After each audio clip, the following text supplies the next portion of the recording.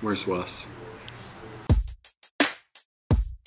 He's a bear who is blue, but he's not too good at stuff. On account of that his life can get pretty rough. But the most important thing out of all that stuff is that Boo Bear does stuff. Hey, that's the name of the show.